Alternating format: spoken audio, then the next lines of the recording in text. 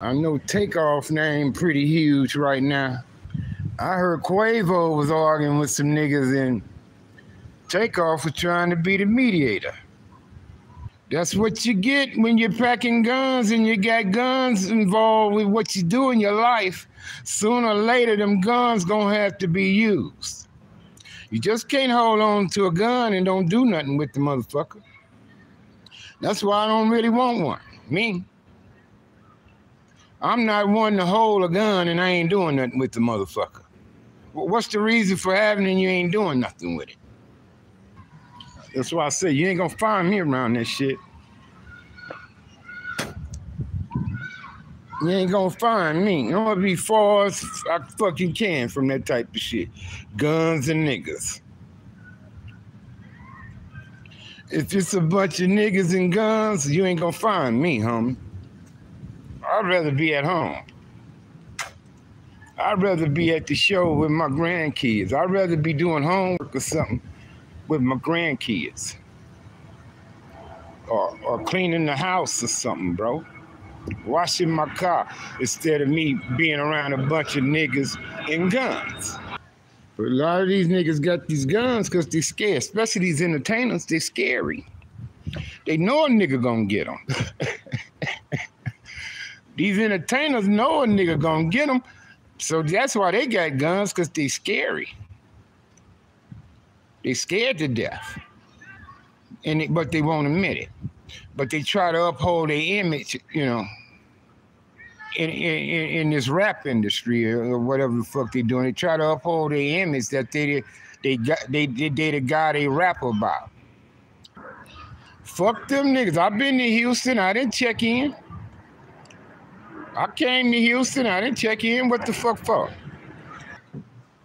If you young man, how the fuck you checking in with a nigga? Cause that, that's what I don't understand.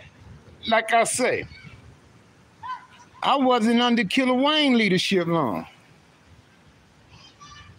I'm not checking in nowhere. I'm a grown motherfucking man. I'm a grown man, cuz can't nobody protect me from niggas but me. And the best way to protect yourself from niggas don't have nothing to do with niggas.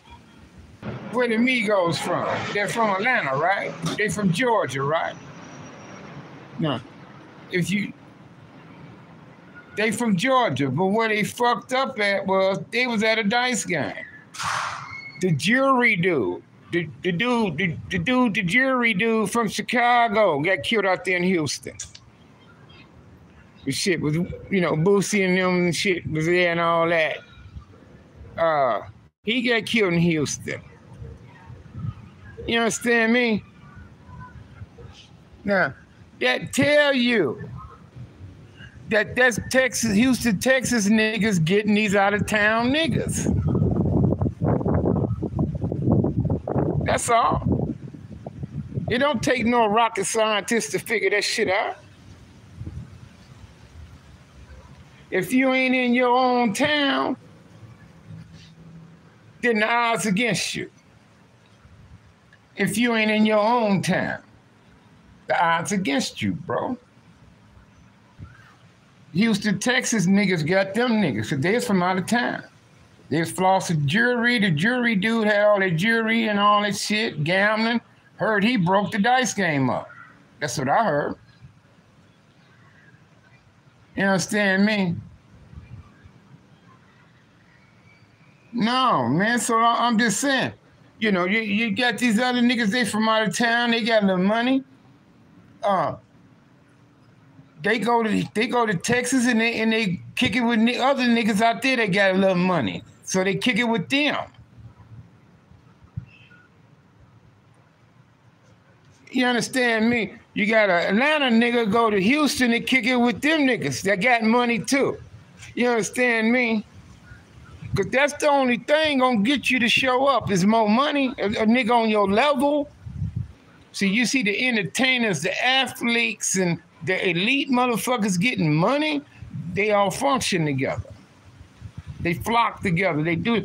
That's why you, you see You, you see athletes, football players, basketball players, whatever in the strip club. You you, you see uh these rappers and actors and entertainers, you know, up in there, you know, motherfuckers with money, right? But now you got some gangsters, street niggas got money too.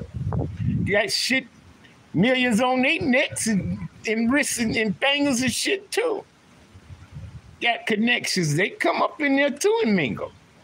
You understand me? So money make mingle. So now that's where you got you got the Migos, you got them around these other motherfuckers, these J Princes and all these type motherfuckers in the rap industry and shit.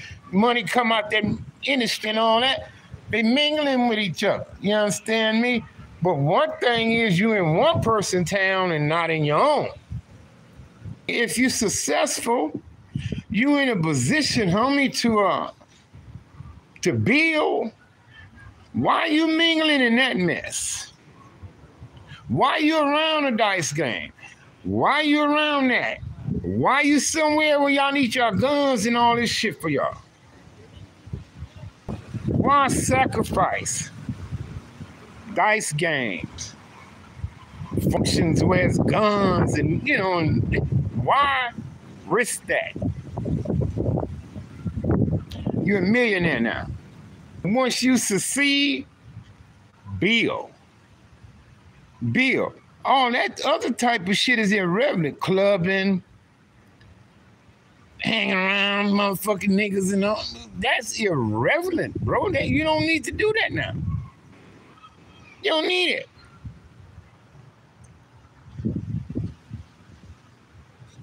You don't need it. All it took was a woman to tell me, Harvey, I'm pregnant with your child.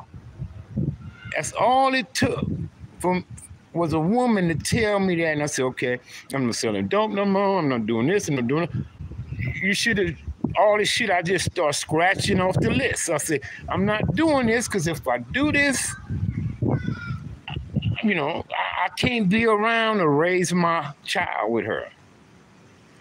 So I knew then it was a lot of shit I had to cut out my life if I wanted to, to be a part of her and this child life, cuz. So I stopped at that moment when she told me that. I said, okay, I ain't doing this no more. Da, da, da, and I stopped, homie. Anything was risking me going to jail and shit like that. I stopped doing it. It didn't take me being a Grammy Award winner and millions of dollars and touring the world. And eh, it didn't take me to make that decision. Just becoming a father made me take that decision alone. Just becoming a father made me say that. Okay, well, fuck that. I can't be fucking around like this no more, like that. I knew what not to do if I wanted to be around to raise a child.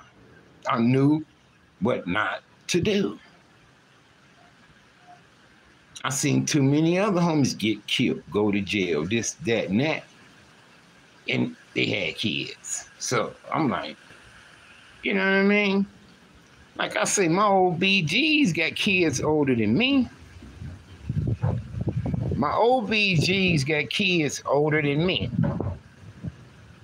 So I seen my big homies, me, homies, my era on down, do their thing before I became a father. So, like I say, I seen plenty of homies get killed or locked up or shit like that, sprung out on drugs, da da da da da. And they was fathers. And, and already I'm look I look and see them. I'm saying, oh man, if I become a father, I ain't doing that kind of shit, cuz. You know, I always knew. I'm like, oh, cuz y'all niggas, man, I, you know, I used to trip off of them, cuz. Yeah, but you know, my my my my best advice to to a man, especially a, a man of success, you done succeeded somehow, some way, and you in a position to build on that, then it's a lot of things that become unnecessary in your life as far as this street persona, this culture of ours, uh, this mentality of ours, the consequences, the repercussions, the ratio, the odds, uh, even the awareness of knowing the possibility. But yet and still, we sacrifice and we risk for whatever enjoyment that comes in that type of participation.